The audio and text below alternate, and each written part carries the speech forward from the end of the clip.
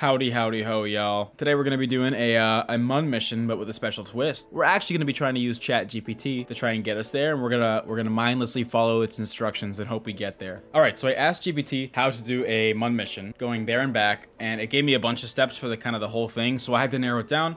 I asked it, how do we build the rocket? And so first it says we need a command module, and it just said like, oh, choose whatever you want, basically like size and whatnot. So I'm just gonna choose the tin can because we're gonna go pretty small here. So here we go. Then it said fuel tanks and we need an engine for orbiting. Uh, so it said we need fuel tanks, typically smaller fuel tanks because it's thinking about the higher stages and liquid fuel engines for orbiting stages and whatnot. It suggested the Terrier or the LVT-30. I'm probably gonna go with the Terrier for the, the, the MUN stage. It, it forgot about that, but uh, it was it was suggesting more orbital stuff. So I, am gonna do both. I'm gonna do the Terrier and the Reliant uh, once I build it here. So hold on. I also asked it about landing gear. It said, yes, you need landing gear. So that was smart of it. Um, landing gear there, like it suggested. I'm going to put some nose cones on here for decoration. I don't want to ask it too many questions because this is going to take so long. So I'm just going to kind of wing it. And I asked it about a parachute. It said a parachute is very important. Um, you need that to survive. So we're going to add a parachute as well. Uh, it also doesn't know about decouplers. So I guess we're just going to have to do no decouplers. Um, okay, so I am going to use some uh, decouplers. I'm cheating a little bit because it'd be really hard otherwise. And I'm going to use the, the Reliant, which is interesting because you don't get as much control with the Reliant. It also didn't say anything about um, control surfaces, which is crazy. So I guess I'm just going to go no control surfaces, which is really, really nuts. So this might take a bit. Uh, I asked it about um, solid fuel boosters. Are they okay for the first stage? It said yes. Um, and I thought it was funny. It was it was talking about environmental impact uh, which is not a problem in KSP2, so I thought that was pretty funny. So I'm gonna get some decouplers for this, I don't care. Um, and it's said to be mindful of the size and weight of the, the solid rocket boosters based on how big your rocket is. So I'm gonna go with probably the Thumper. I think the Thumper is valid. Pretty ugly. It didn't say anything about heat shield, so it must know that, that heating isn't in this game yet. It also said we need to test it, we need to balance it with the, uh, the center of mass and thrust situation, so we have to Where's the Center of thrust right in the middle here. Center of mass.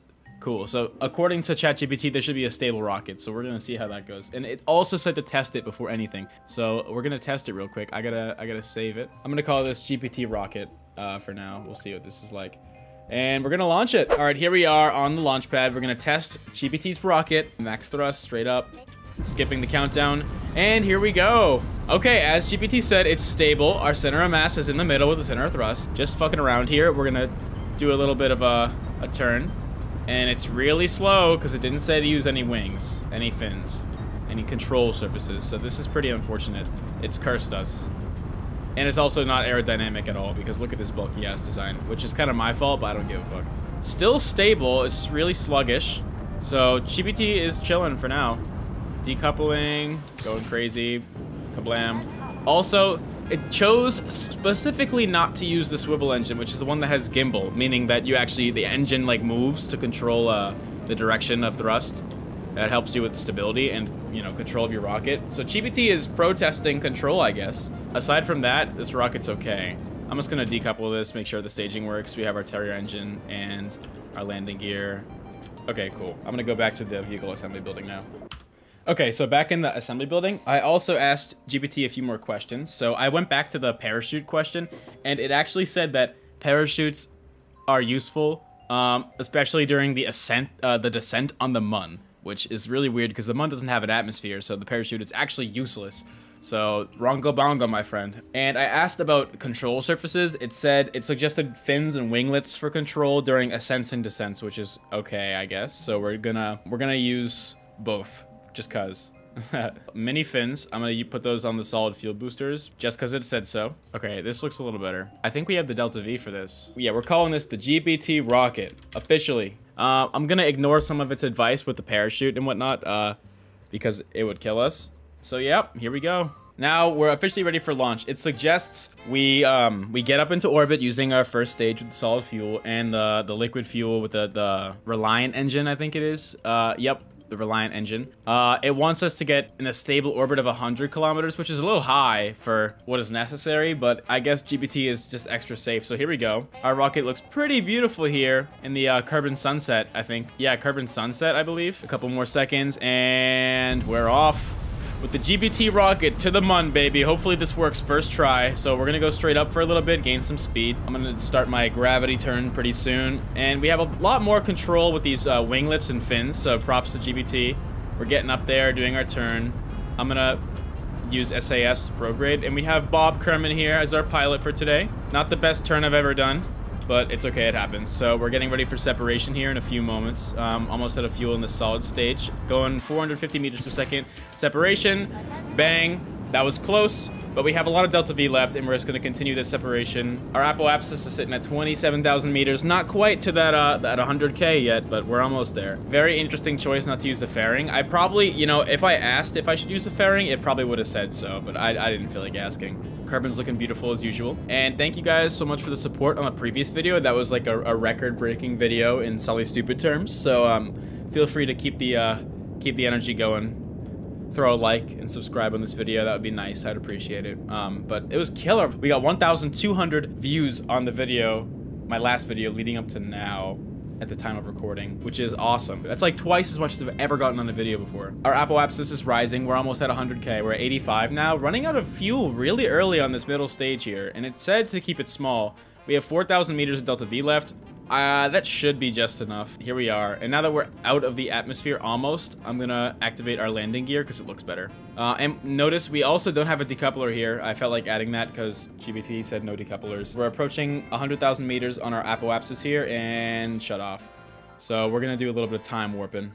And it suggests a stable orbit, obviously, so we cannot, our periapsis has to be above the atmosphere so we don't fall back into Kerbin with the air resistance. So here we go. This is a little rough.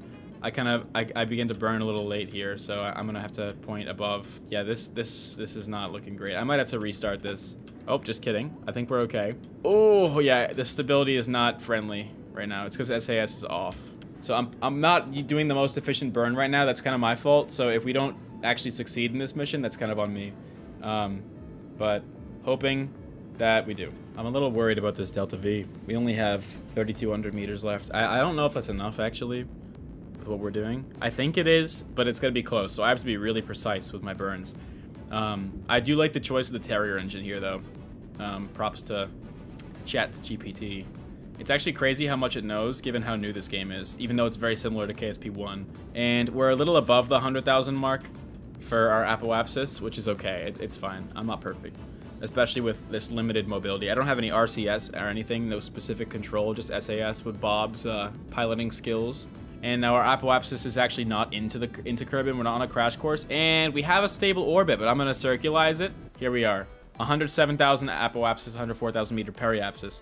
Here we are. That's perfect. So I asked GPT what's next in our Mun mission adventure. And it said uh, to set up a maneuver node for a intersection with the Mun. It didn't tell me uh, what kind of transfer window the Mun requires to get there but I know it because I'm a Kerbal Space Program fucking master. Um, so we have to set up the maneuver at the transfer window and execute the maneuver.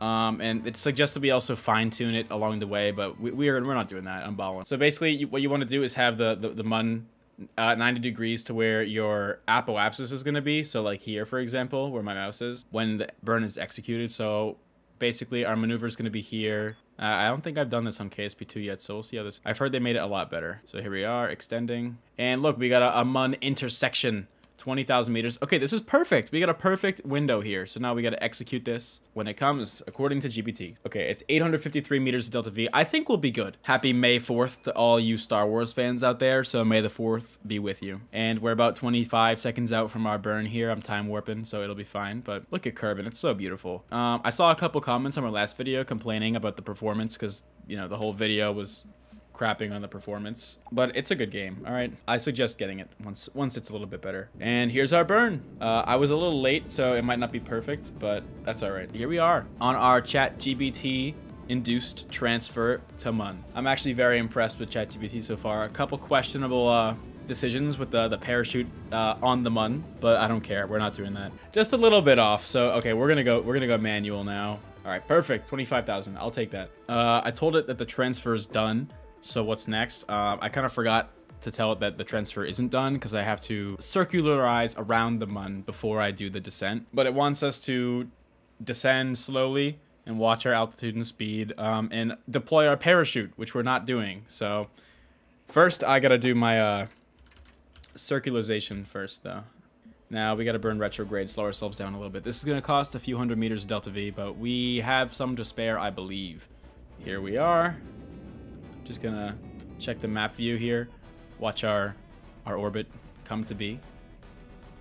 And just like that, we are in orbit of the moon, but we are going to circularize. Just like that, we are almost there. Three, two, one. Okay, that's fine. That's circularized. Okay, so ChatGPT wants us to find a flat area to land and control our descent. So I'm thinking the bright side of the moon. Of course, for y'all viewers, you got to be able to see what's going on.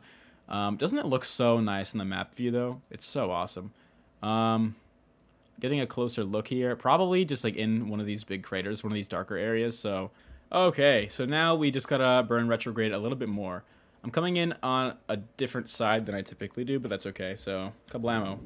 Now, we are officially on a crash course, and I think about here is perfect, so we're to keep burning. And here we are, flying over the Mun, thanks to ChatGPT. And it reminds us to activate our landing legs as soon as we're close to the ground, but they've been out this whole time, so we're fine. Time warping. Let's get a little bit closer here. Oh, we're spinning. We gotta slow down faster. We're coming in hot here. Now we're going almost straight down uh, on this flat ass surface. Oh god, we only have a thousand meters per second left. Oh, this is gonna be so close, guys. Hot, hot, hot, hot, hot, hot, hot. Slowing down. All right, we are going solid, solid speed. Slowing down, 13 meters per second. The ground's right there.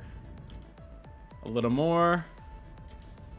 And perfect. That landing could not have been better. We're just a little bit short on fuel, I think. Okay, now GPT wants us to explore the moon a little bit. So now we gotta how do we get the crew out of here? Hold on. Alright. Uh-oh. I thought we were to tip over. Oh, yeah. Look at that. The beautiful nothingness and the stars. Alright, we're going to plant a flag. Site name, GPT fucking mission. Thank you. Alright, let's watch Bob plant a flag here. His eyes are different sizes. That is concerning. But look at that. Kablamo. Kablamo. Uh, I don't have a custom fucking flag, because whatever. You've explored the mun. You're done. Now I gotta ask ChatGPT how to return. Alright, I asked GPT how to return. It said we gotta control our ascent and keep mind of our resources, aka our fuel, life support, whatever. And we gotta make a maneuver node once we're in orbit of the Mun. Hello, what's going on here? To return to Kerbin as efficiently as possible. And then we gotta deploy the parachute once we're in the atmosphere and land safely. So we're just gonna do that with what we can. I might honestly have to ditch the craft and use the jetpack, uh, but we'll see how it goes. So three, two, one, up we go. Uh, I gotta make this as efficient as possible. This is pretty rough. Yeah, I don't think we have this, ladies and gentlemen. Apoapsis of 15 kilometers. We're just gonna time warp 430 meters per second left. This is an ass clencher if I've ever seen one. I'm spinning in a circle uncontrollably. Stop, stop, stop. Control yourself, control yourself. You're wasting my fuel, boy! 15 kilometers. Periapsis up Stable orbit in 3, 2, 1. Here we are. Fine. Perfect, perfect, perfect, perfect. 240 meters per second. That's a thousand percent not enough. We're not, we don't have enough. Let's just try this. I'm just gonna do this burn.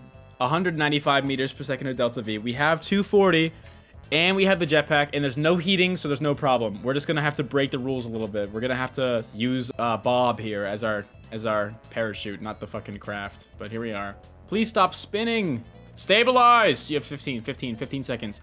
I'm so stressed. I don't want to do this all over again. Go! Nine second burn. Let's go.